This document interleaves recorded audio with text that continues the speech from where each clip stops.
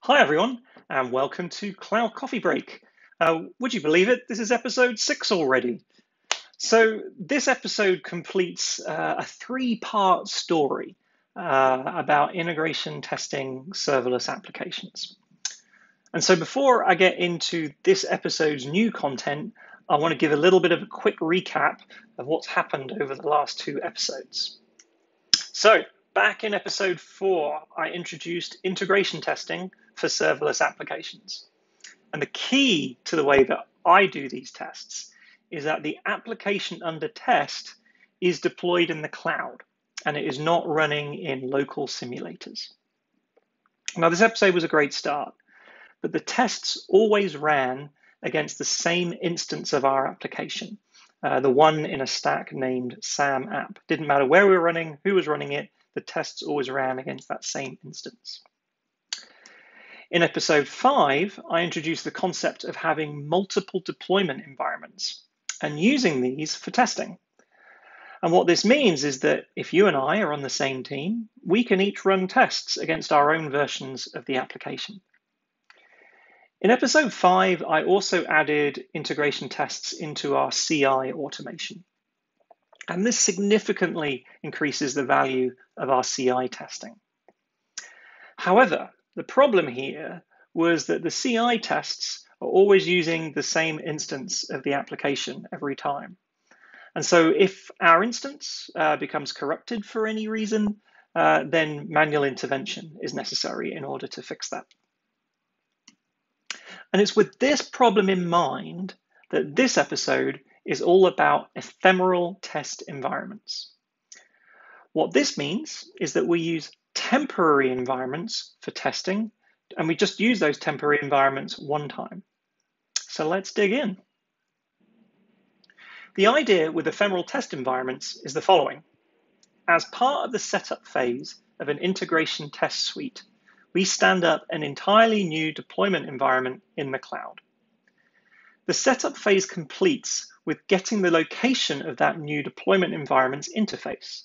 In our case at the moment, that's the API endpoint. The tests then run just as we did in the previous episodes, but against this temporary environment. In the teardown phase of the test suite, we delete the temporary deployment environment since it's now served its purpose. Now, typically, I make this new way the default mode of running integration tests, but we also want to allow using an existing environment, and we don't want to tear that down. Now, typically, the second mode is useful during a development episode where we want some more rapid feedback. So this idea of ephemeral environments is clearly extra work, and it introduces extra latency in our integration test suite. So why do we do it? Well, there are two main reasons. Firstly, this guarantees a clean application test environment every time. So typically with setup and teardown in tests, we delete the contents of data stores, and that's sufficient in traditional applications. But for serverless development, the set of components that make up the application is often much more dynamic. And so if there's been a bug with the resource configuration during a previous test run, then that might not be something we can clean up just by emptying a database or an S3 bucket. Instead, by creating a new stack every time, we guarantee the application we're testing has all the resources and configuration we intend it to have. The second reason is that sometimes we might want to perform separate integration test runs in parallel. So for example, say you run integration tests every time someone makes a change to a pull request branch in GitHub. If three people are working on three different PRs, it would be really nice if their automated integration tests aren't queued up, but instead can run concurrently. So by having isolated ephemeral test environments per integration test run, we know that our integration tests aren't going, into, aren't going to interfere with each other, assuming that there aren't any downstream conflicts. So those of you that have been programmers for a few years may be worried that this way of performing tests is very expensive. Creating entirely new environments that only last for a few minutes certainly sounds like it wouldn't be cheap. But the great thing is that this is where the cost models of serverless really help us again. If we were using a service that was charged by the hour or day, then it's unlikely that we want to use this technique. But because serverless services charge by precise usage, it's likely that in many cases that having ephemeral environments don't actually cost any more at all. So here's a diagram summarizing how we're going to do this. On the left-hand side, we have our test. In that case, that's running in a framework called Jest uh, in Node. And so before and after we run our test, we have a before all and an after all function. The before all function is now going to be responsible for deploying a brand new stack using CloudFormation. And CloudFormation is going to deploy our actual application. And in, the, in our case at the moment, that's an API gateway and a Lambda function. Once setup is complete, we can run our test just as normal. So it's going to query the API gateway endpoint. Once all the tests are completed, we are done with this environment. And so the after all function or teardown function can then delete uh, the application stack.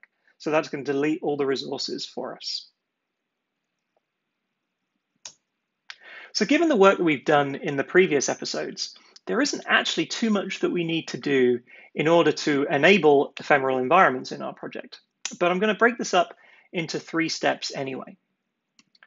First of all, I'm going to make the changes to the setup function and add the teardown function. And this is going to be able to create and delete our ephemeral environment. Next, I'm going to update our CI automation configuration so that it is using these new ephemeral stacks. And finally, I'm going to allow the option of running tests against an existing stack that we won't tear down afterwards. And so let's get started. So the first step is to get the ephemeral stack management working. And there are a few ways to go about this. Uh, as I've mentioned before, John and I have written a book about Lambda and Java, and we have these ephemeral test environments in that book. And in there, we put the environment automation into the build scripting, since the, the tool that we use in that world, Maven, has really good support for having these hooks. For this coffee store app, though, for now at least, I'm going to put the automation into the test itself. And so most of our work is in the integration test file that we started back in episode four. Now we need to make some changes to the setup function, which in Jest is named before all. Now, first of all, up until now, the name of our deployment environment or stack has been provided externally. But now we need to come up with a new name for ourselves in the test. It needs to have some amount of uniqueness so that multiple instances of the test can be running at the same time. Now, I have a separate function here to generate that stack name, and I'm going to show you that in detail in a later slide. But all you need to know now is it generates this stack name and we assign it to a variable so that that stack name can also be used later during teardown. Once we have a stack name, we can deploy the stack. And what we really want to happen here is exactly what happens when we run the deploy.sh script that we've created before. And the best way to make sure that the result is the same as running the deploy.sh script is actually to run the deploy.sh script from our tests. And so that's what we do. There's a little bit of JavaScript and Node magic here to run an external process, but the summary is that we call the deploy script and wait for it to finish. And finally, we need to query the deployment environment's metadata. Now, this is exactly the same process that we had last time, but this time we're using the generated stack name. And this is all the changes that we need for our setup function. Now we need to add a teardown function, which in Jest is named after all. Our task here is fairly simple. Just delete the test environment. So since our project scripting doesn't yet have a feature to delete a stack, we just call CloudFormation directly, asking it to delete the stack that we created in the setup function. This call actually returns immediately rather than waiting for the stack to be deleted. And so you may want to check that your stacks, your stacks are actually getting cleaned up. Now, one quick note. I've chosen to implement this in a way that's easiest to explain. But for larger projects, this specific design I have here might need to be adapted. For instance, with Jest, the before all and after all functions run once per test file. We probably only want to create one ephemeral stack for all of our tests. And so you may want to do something differently once you have multiple integration test files. Alternatively, you could just stick with having one root integration test file with all the tests in that file, but calling out to code in other files. Now in Python and PyTest, we can have a folder level setup and teardown. And as I said before in Java, we typically put the environment automation into the Maven scripting. But whatever you do with whatever language that you're using, the principle is the same. We create an environment before the tests run. We use that environment with the tests, and then we tear it down once the tests are complete. Now, one more small thing, and we'll be done with this first step. By default, Jest expects to run in a few seconds. And so we need to configure it not to fail with the timescales that are now involved in deploying stacks to the cloud. By updating the integration test config file like I've done here, and by adding the corresponding test setup file, we now have a five minute timeout, which obviously we can change, but five minutes is plenty for now. I'm not ready to push these changes to GitHub yet, but I can now run them locally. If I just run npm test, you'll see that when the integration tests start, they first deploy a stack with a name based upon the current date and time. Once the stack has been successfully deployed, then the tests can run, and they run using this newly created environment. Finally, once all of the tests are complete, the stack is deleted. So there we have it, ephemeral test environments. And that's actually the bulk of the work for this week. But let's do a couple more things just to tie a bow on this. First of all, I want to use these new ephemeral environments in my CI automation. Because this is a CI update, we need to change the build spec file. Before, the build spec needed to deploy the changes to the CI test environment. Now the tests themselves handle that, and so we can delete the deploy.sh line from our build spec. Now, one thing that would be nice though, is to know which ephemeral environments relate to our CI tests. And so what we're gonna do is have a CI specific part in our ephemeral stack name. And we declare this in a new stack name prefix environment variable. And now we need to update the integration test to use this prefix. Now, all of the changes here are in stack naming. And so it's time to dig into that function that generates the stack name. First of all, we need to see whether the prefix environment variable has been set. If it has, we use it. Otherwise, we use a general prefix. And then we generate a stack name based upon this prefix, and in our case, the current date time. Now, you can actually do whatever you want here. And in fact, for your own project, you might want to simplify this. Now I'm using this prefix and this date time, and unfortunately, to make it even more complicated, JavaScript doesn't have good date time formatting in its standard library. And I didn't want to pull in a third party library just for something this small. And so our actual name generation code here is pretty verbose. But ignore all of this complication. All that really matters here is that we generate a name that is almost always going to be unique and ideally always unique, and that it's somewhat useful to use when we actually read that name. Now, with this change made to our stack name generation, we can push our updates up to GitHub and we can let CodeBuild run. And let's see what happens when, when we do that. So here is the first part of the log from CodeBuild after we've pushed all of these changes.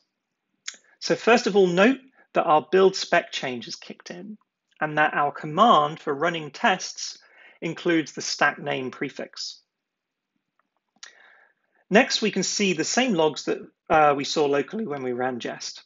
Our brand new stack is being deployed, triggered by the test running in CodeBuild, and the name of that stack has the prefix that identifies it as a CI test environment. Later on in the CodeBuild log, we see the following. The stack is successfully created. The test finds the API endpoint for the new stack. And once all the tests are complete, the tests tear down the ephemeral stack. And that's it. CI integration testing using ephemeral stacks. It's almost kind of anticlimactic, but this is a really, really super useful technique. To be able to know that your integration tests are running against an entirely clean environment every time uh, your CI tests run is really, really confidence inspiring. Before I finish up this week, I want to do one more thing. When I'm running integration tests from my laptop and I'm iterating on something, oftentimes I don't want to go through the full deploy and delete cycle. I just want to run the tests against my own personal deployment environment that the tests then leave in place. And so I want to add a switch that I want to add a switch to the tests that allow me to do this. This is actually a fairly simple change to the integration test code, but let's step through it. So first of all, I, as the integration test, want to see if a stack name variable is in the environment. And if it is, I'm going to use that fact for two things. First of all, if that stack name variable is there, I'm going to assume that I should not be using an ephemeral stack. And secondly, if that stack name variable is there, I'm going to use that stack name as the name of the application to test. So next, if I'm not using an ephemeral stack, then I skip the deployment step entirely, assuming that whoever ran the test has already performed the deployment that they need. And finally, if I'm not using an ephemeral stack, I don't delete the application under test once all the tests are complete. And so now I can run the tests specifying that stack name environment variable. And you can see that since the stack name variable is set, then the test uses that stack as the application to test. And then finally, after all the tests are complete, the stack is left as is. And that's the end of our code updates. So to summarize, there are now three ways of running the tests. First of all, if you want to use an ephemeral stack with the default name, you just run npm run integration test or npm test. If you want to use an ephemeral stack, but you want to use some kind of custom name prefix, then you can set the stack name prefix environment variable before running the tests. And this is what I've set our CI automation to do. And finally, if you don't want to use an ephemeral stack, but you want to use an existing stack, and you don't want that stack to be torn down when the tests are complete, then you can set the stack name environment variable before running the tests. So that's it for this week. Uh, here's what I covered today. So first of all, I talked about how to use ephemeral environments with integration tests. I talked about how to use those ephemeral integration environments within our CI automation. And then finally, how to be able to use existing environments uh, rather than ephemeral environments for quicker development cycles. So as I said, that's it. Uh, we're, we're six episodes in. Uh, I'm really excited that I got to this point. We so John and I worked on these ephemeral environments as part of uh, when we wrote our book, which I always have next to me. This is our book. Um, and and when we finished that section in the book, I was I was really excited because I hadn't really seen many people doing that. And so I knew that when I started this series that I, I wanted to sort of show that to everyone as well. I needed to re-implement it because the book's in Java and this is all in JavaScript. Um, but I, I, really think this is a, a super powerful technique, um, especially for folks that are, are, not used to running their integration tests in the cloud. And so I'm, I'm super excited uh, I've, I've, been able to show you this over the last few episodes. Um, so that sort of brings these last three episodes around integration tests to a, a close. I, I, think what I'm going to cover next week um, are a couple of little things with CodeBuild, uh, just little fun things, um, and then probably start talking a little bit more about production deployment after that. Uh, and of course, the best way to know uh, when I've got those episodes produced and, and uploaded is to subscribe. And while you're subscribing, it'll be even more awesome if you hit that like button. Hit hit that like button. Like button, it's great. Um, so, of course, uh, there is resources for this, which you can find at this link.